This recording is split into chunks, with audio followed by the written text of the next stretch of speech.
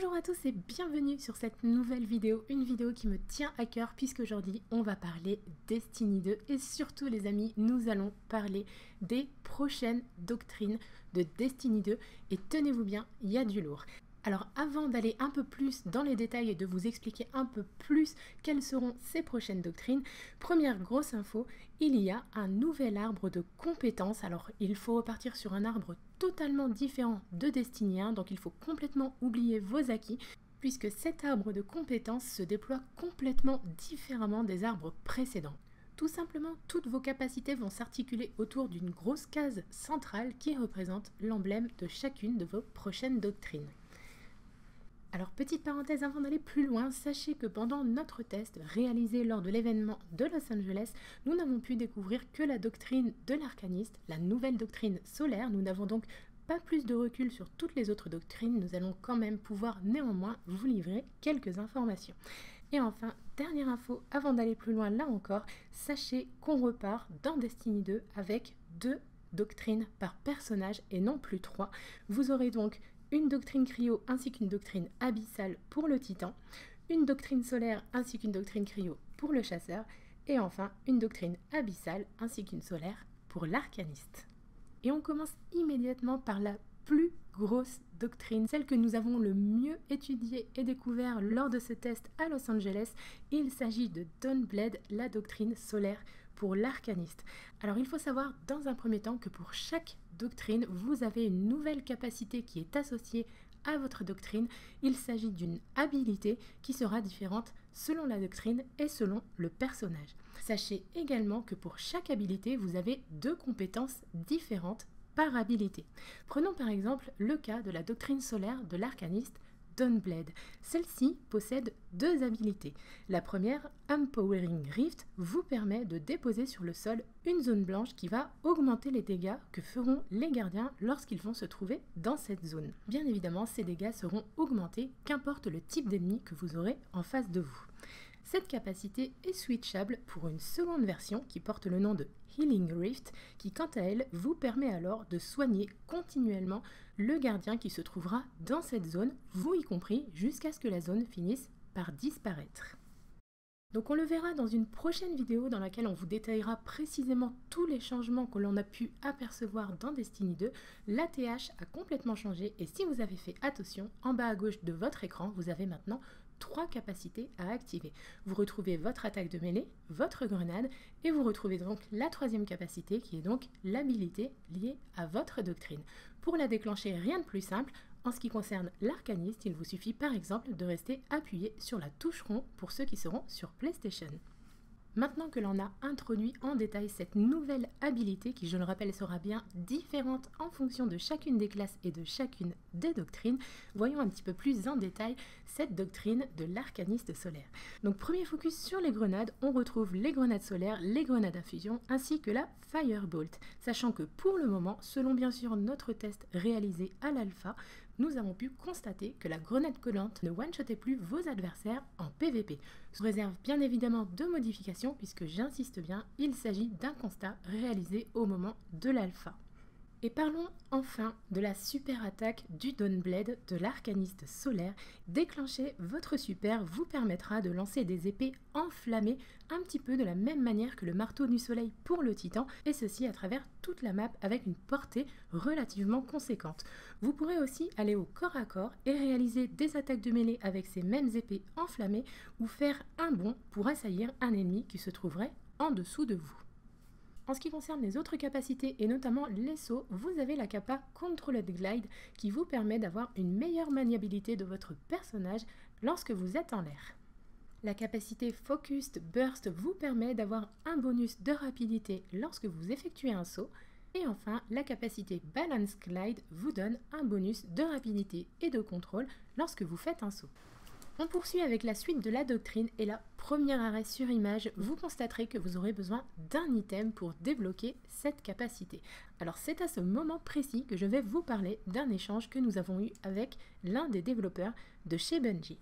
Nous lui avons donc demandé si ses capacités resteraient bloquées et quelles étaient les conditions pour obtenir ces fameux items afin de les débloquer. Celui-ci nous a répondu qu'à ce stade du développement du jeu, nous n'avions le choix d'activer soit les quatre capacités du haut de la branche de la doctrine, soit les quatre capacités du bas. Il a également précisé que pour le moment, il ne s'agissait que d'une alpha et qu'il ne savait pas si ce système allait s'installer dans la durée ou si tout allait être activable par la suite. Il ne nous a en revanche apporté aucune précision en ce qui concerne l'item qui nous permettrait de débloquer les habilités. Revenons maintenant à la capacité Fire Starter, une capacité qui va vous permettre de réaliser une attaque de mêlée plus puissante qui fera plus de dommages. Cette même capacité qui vous permettra également d'augmenter votre agilité et votre vitesse de rechargement. Capacité suivante du nom de Wildfire, une capacité très intéressante qui je pense va faire beaucoup parler. Vous allez pouvoir dorénavant, grâce à votre arcaniste, engager des combats aériens, c'est-à-dire que vous allez pouvoir tirer et lancer vos grenades lorsque vous êtes en train de planer. Une capacité assez originale qui je pense va faire énormément parler d'elle. Capacité suivante, la capacité Everlasting Flames. Tuer un ennemi lorsque votre super Daybreak est activé prolonge sa durée. Et enfin, dernière capacité de la branche inférieure droite de la doctrine, Blazing Dash, faire un double rond lorsque vous êtes en l'air vous permettra d'esquiver une attaque.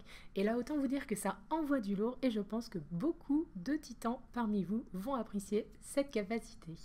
On poursuit et on termine avec la branche supérieure droite de la doctrine avec la capacité Igniting Touch, une capacité qui va vous permettre d'enflammer vos ennemis avec une attaque de mêlée, ceci pouvant aller jusqu'à les faire exploser. Capacité suivante, Phoenix Drive, une capacité qui je pense va faire beaucoup parler d'elle, surtout pour le mode PVP. Maintenir votre toucheron lorsque vous êtes en l'air afin de descendre rapidement va vous permettre de régénérer votre santé. Alors là, ça je pense que ça va faire beaucoup de mal, surtout pour le PVP. En tout cas, j'ai vraiment hâte de voir cette doctrine en action. Avant-dernière capacité, Skyfire, lorsque votre super Daybreak est activé, la descente causera des dommages explosifs lorsque vous allez atterrir. Et enfin, ultime capacité de ce nouveau super Ryzen Angel, lorsque vous êtes en l'air et lorsque vous visez avec votre arme, vous allez pouvoir rester immobile en l'air pendant un court instant. Réaliser des frags de précision dans cette situation vous permettra bien évidemment d'augmenter la durée de cette capacité.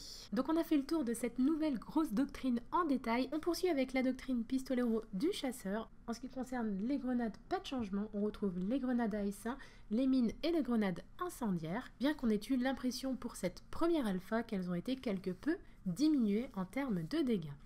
On passe à la branche supérieure droite de la doctrine avec la capacité Chance of Woe. Faire des kills de précision augmente la vitesse de rechargement de votre arme pour vous, mais aussi pour les alliés qui se trouveraient à proximité. Bombs for Bullseye, une capacité qui vous permet de générer de l'énergie de grenade lorsque vous faites des tirs de précision. Capacité suivante, celle-ci est très intéressante, elle se nomme Six Shooter et elle vous permettra tout simplement d'avoir jusqu'à 6 tirs de pistolero sur un seul pistolet d'or. Attention, petite contrepartie, la durée du pistolet d'or est pour le coup fortement réduite. Et enfin la capacité explosive knife qui va vous permettre uniquement lorsque vous avez votre attaque de mêlée au maximum de faire exploser vos ennemis rapidement après leur avoir lancé un couteau. On passe maintenant à la review des deux nouvelles habilités pour le pistolero. La première, Gambler's Dodge, vous permet de réaliser des esquives en étant à proximité des ennemis lorsque vous faites deux fois la touche rond. Cela va vous permettre également de générer de l'énergie pour votre attaque de mêlée. La capacité Marksman Dodge, quant à elle, vous permettra de recharger automatiquement l'arme que vous avez équipée lorsque vous faites cette même esquive. On passe rapidement sur les sauts puisqu'il n'y a pas de nouveauté au niveau des sauts. Vous allez pouvoir augmenter votre double saut. Comme pour le pistolero de Destinia, vous allez pouvoir augmenter la hauteur de votre double saut, améliorer sa maniabilité en l'air ou y ajouter un troisième saut. Et enfin, on termine avec la branche inférieure droite de la doctrine, Knife Juggler. Votre attaque de mêlée devient un lancer de couteau et faire un kill de précision avec cette capacité la recharge automatiquement. Donc vous le verrez là encore, pas de gros changements pour cette branche de la doctrine puisque capacité suivante Gunsliger's Trance, entrer en transe avec votre pistolet d'or et réaliser des kills de précision va réduire le temps pour récupérer votre pistolet d'or par la suite. La capacité Crowd Pleaser, faire des kills de précision avec votre pistolet d'or, va générer des orbes pour vos alliés. Et enfin, la capacité Line Em Up, réaliser des tirs de précision avec votre pistolet d'or, va augmenter les dégâts et la durée de ce dernier.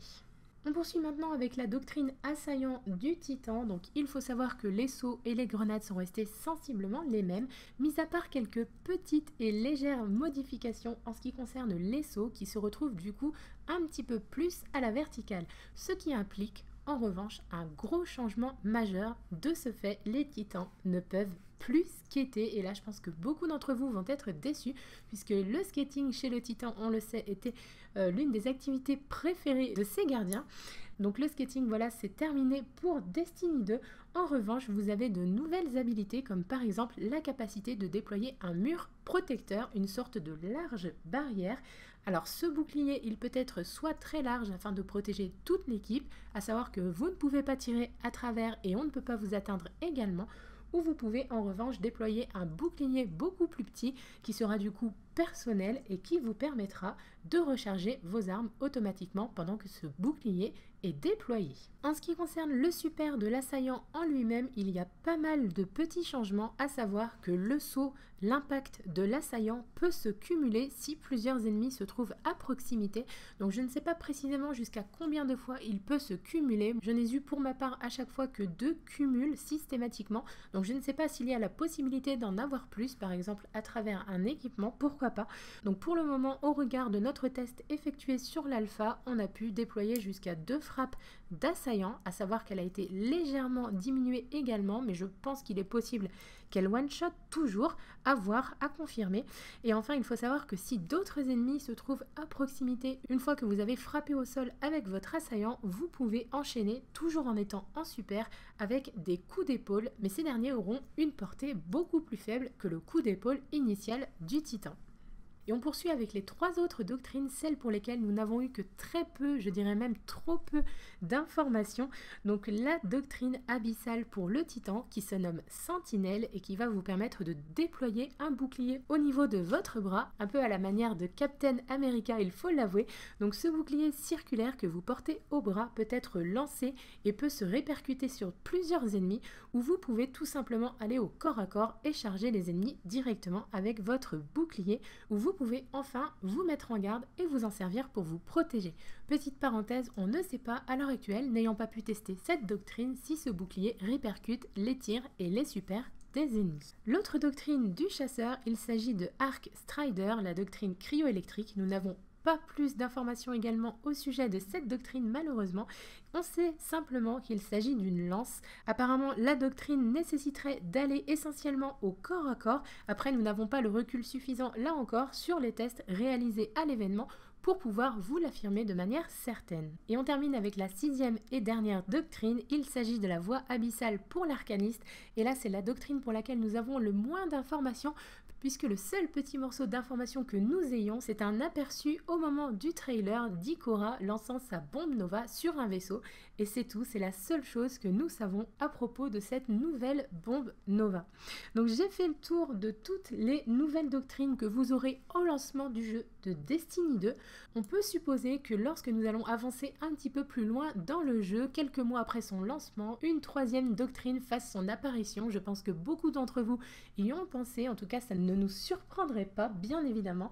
Alors avant de terminer avec cette vidéo, il y a une dernière chose que je souhaitais aborder avec vous, que nous avons lors du live stream. Nous avons vu les développeurs, lorsqu'ils jouaient sur PC, changer directement de doctrine sans aller dans leur menu. Donc nous avons supposé qu'il y avait donc une touche qui permettait de switcher directement sa doctrine tout en restant dans le jeu sans avoir à faire un retour dans les menus.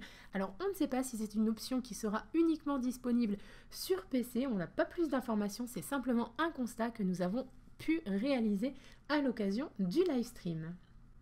Donc j'ai fait le tour de toutes les doctrines, c'est à vous maintenant de me faire part de votre point de vue dans les commentaires, il est énormément attendu, j'ai hâte de savoir ce que la communauté pense de toutes ces nouvelles doctrines. Qu'est-ce que vous en pensez? Qu'est-ce que vous pensez du fait qu'on reprend quelques doctrines de Destiny et qu'on les remasterise? Qu'est-ce que vous pensez en revanche des nouvelles doctrines? Donnez-moi votre point de vue, c'est le moment ou jamais.